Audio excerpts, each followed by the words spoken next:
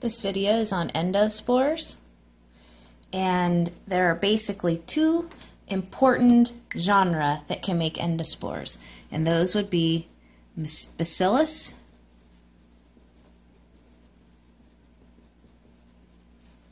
and Clostridium. Now there are other endospore forming microbes for sure, but these are the two medically significant ones. They are both gram-positive rods. And when they form endospores and you look at them under a microscope, you um, will see a clear spot where the endospore forms. And so you can put a malachite green stain on there and get them to have this very pretty green endospore.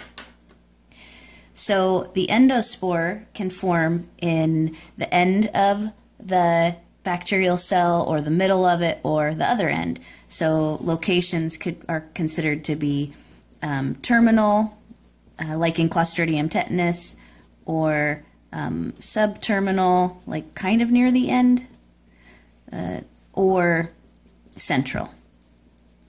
And the where they form their endospore, if you're looking at them in the microscope, can be helpful in identifying a species.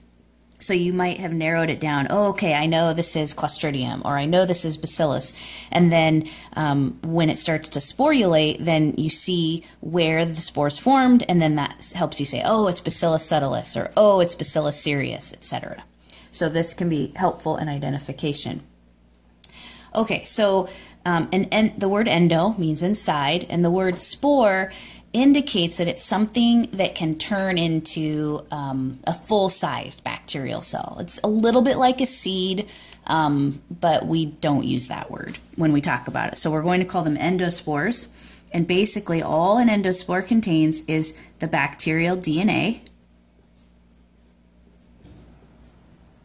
and ribosomes.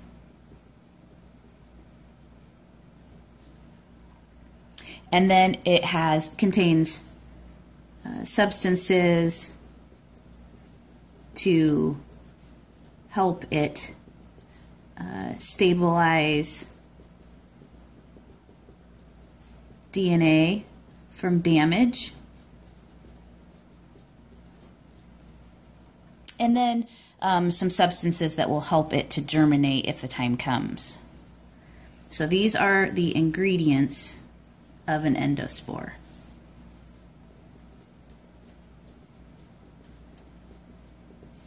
Contain these three things. Let's put that with them. So these are the ingredients. They contain DNA, ribosomes, and something to stabilize their DNA. So that's why they're going to be so resistant. Okay, so let's go down here and look at an example of a bacterial cell that can form endospores. I'm going to make it rod shaped and purple because they usually are gram positive um, rods. And this is the vegetative cell.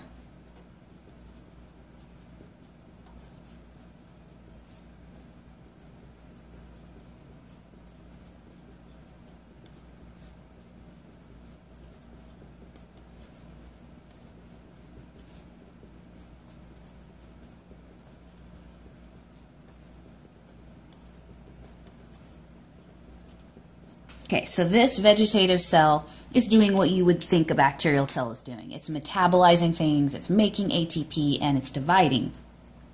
So it has DNA, just like all cells. So here's its circular DNA. I'm not including any plasmids in this particular drawing. Um, go DNA. Okay, so what would make this cell decide uh oh, we are in trouble and we had better go into pod mode. Let's make endospores. Kind of like to think of this if you've ever seen Superman. When Superman's parents are on the planet that is going to be destroyed and they know they're going to die, but they take their little boy and they put him in that escape pod and they shoot him out into space. And of course, he lands on Earth and the rest of the story is well known. Um, but they sacrificed themselves to make sure that down the road they could have um, their DNA basically living on. So imagine the DNA is Superman, the vegetative cell is like Superman's parents, and now they are going to put Superman into um, an escape pod that we will call an endospore. So it turns out that endospore formation is stimulated by stress on the cell.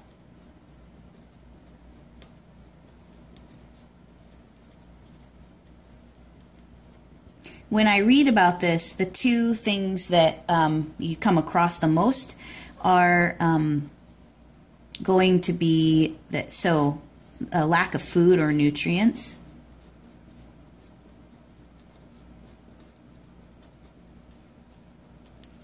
But um, and, and all these things are kind of interrelated. I would also posit that stress would be antibiotic treatment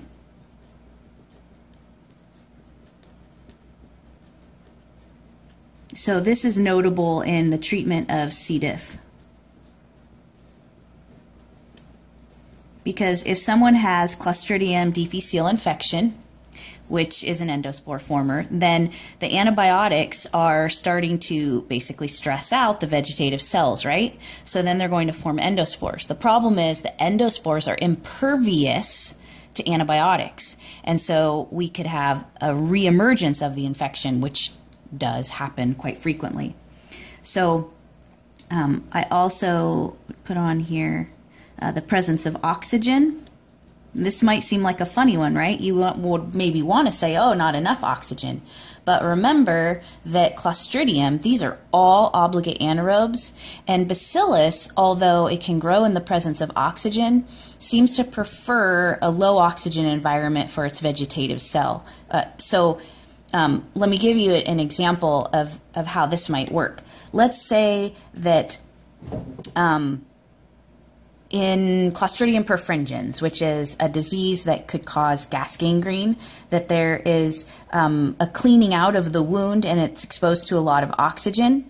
So now the Clostridium perfringens that was um, living in a vegetative state like this might form endospores and then those endospores might fall onto the ground and then they could be picked up by someone else.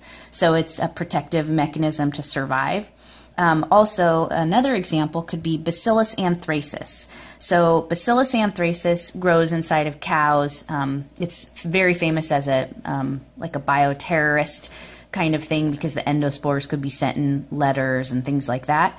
But in it, the way it was originally known about was a disease in cows and it would be maybe traveling in the blood of the cow and then when it be, gets near the lungs and there's a lot of oxygen there it would form endospores and at that point then um, when the animal dies the endospores go into the grass and then the next cow eats the grass and can get the endospores and then get bacillus anthracis as well. It could wipe out a whole farmer's industry.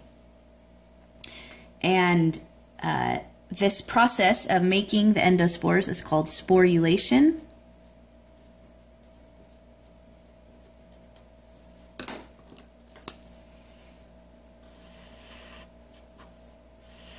And what happens is that DNA gets nicely packaged in a thick protein coat that is impervious to water. It is impervious to radiation. It is impervious to antibiotics and can live for virtually thousands of years in a dormant state. So I'm putting some ribosomes in here. And I put in the, of course, the DNA is in there. And the protein coat, which I did in green.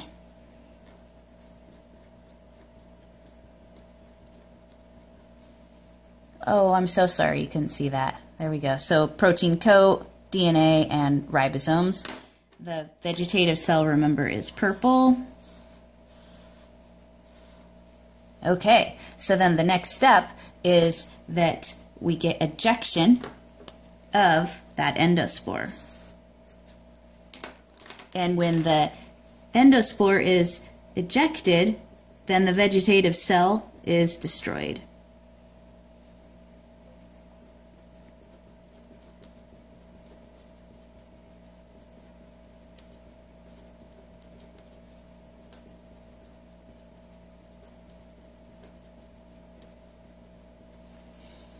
So, in order for the endospore to thrive, the vegetative cell must die. Okay, the next video we'll be talking about germination and what causes endospores to germinate.